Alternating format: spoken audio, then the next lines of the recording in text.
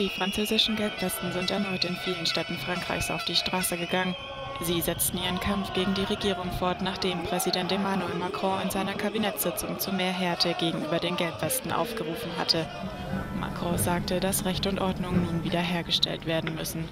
Die Proteste in Paris begannen zunächst friedlich, dann kam es erneut zu Spannungen und Zusammenstößen zwischen der Polizei und den Demonstranten. Einige Gelbwesten feuerten Raketen auf Polizisten ab, diese wiederum riegelten Brücken über die Seine ab. Andere verbrannten Mülltonnen, ein Restaurant auf einem Boot wurde in Brand gesteckt und ein Polizist verletzt, als einer der Demonstranten ein Fahrrad die Böschung in Richtung Fluss schleuderte. In anderen Städten blockierten die Gelbwesten beispielsweise Autobahnen und legten so den Verkehr lahm. In Nizza wurde dies aber schnell von der Polizei unterbunden und die Autos konnten wieder fahren.